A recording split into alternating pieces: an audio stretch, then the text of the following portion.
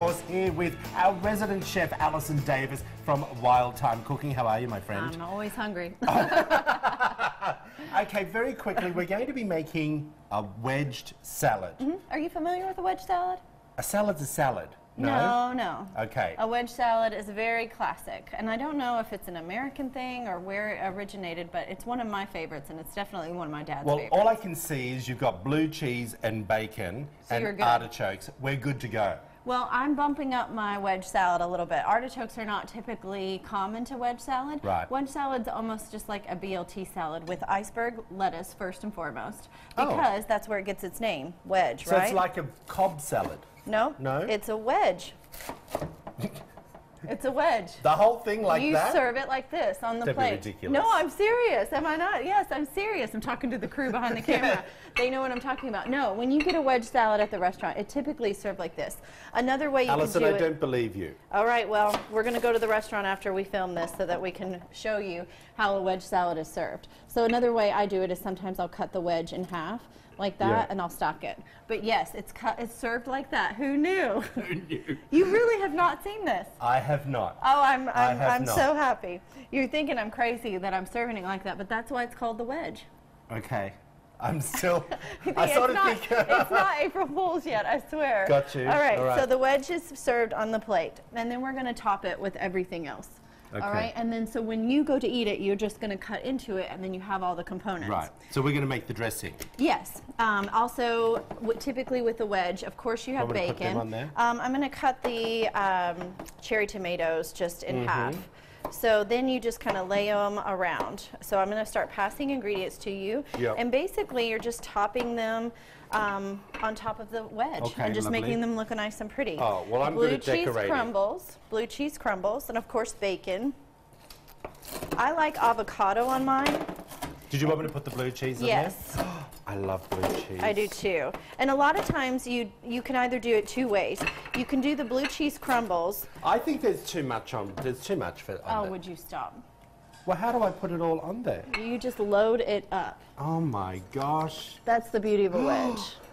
ah. so we're gonna add bacon. Um, I, I like avocado, and you can also do um, hard-boiled eggs a lot of times. There's some more bacon for you. I swear, this is a Caesar salad. it's like. So I've got some fresh avocado. When I cut it, I cut around the pit, and then I just like to score it right inside. I think you've already put bacon on there. Yeah, I did put Oh. some, but the, a bacon is never, never a bad thing. Okay, uh, I think. I So we're going to to- scoop out a little bit of avocado. He is working so hard, isn't he? Well, I'm just concerned it's not going to look full enough for you. Oh, it's because you got half. full. You got half a garden on here. All right. So again, one of my additions is um, I like the little bit of Oh, fresh I need more artichoke avocado on because I put all on one.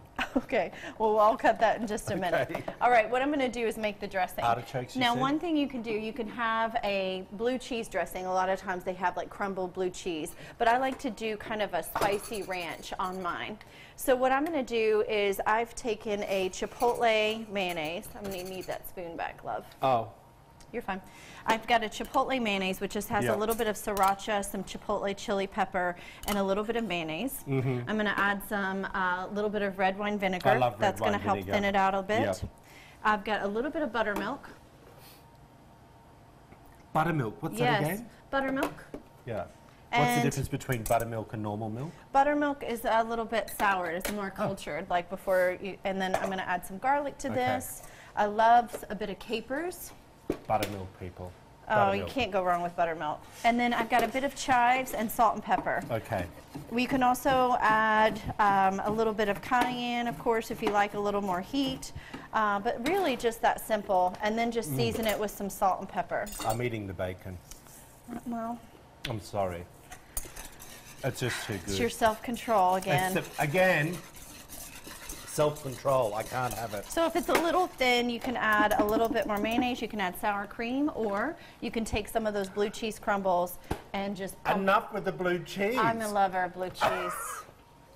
All right, so then we've got that, and okay, let's see. Let's pull that back over here and Okay, take a I look. think you should take this one. He's dying Be- over no, here. because I put too, I think I put too much on the. I So just, we have the bacon, the avocados, the tomatoes. We added a little artichoke. I've got the artichoke on there I'm gonna drizzle a little bit of our dressing. with blue cheese in it. Oh my gosh! You tell me that comes to you at a restaurant, and you're just not gonna die and go to heaven. well, I'm sure. Yes, totally. and one other thing, hold that for me. Okay. I like a little bit more texture and crunch. I mean, you're gonna Can you get add it from the anything more bacon. to the plate? I have some chopped, uh, just a little bit of pistachio pieces. I think it just makes a nice little garnish and a topping. So, boom. Oh my the kitchen Lord. sink. The kitchen sink, I do have to say. I am telling you, I am in love with a wedge salad. Again, it's my dad's favorite, so a little pay a little homage to him. Oh, and onions. I totally forgot. We pickled some Enough. red. uh, don't, do not put anything else We on this pickled salad. some red onions, or you could just do a little bit of diced red onions. But I like the pickled. We're going to give you all the recipes over at WTVQ.com forward slash midday Kentucky for this vegetable patch of a salad. let me tell you.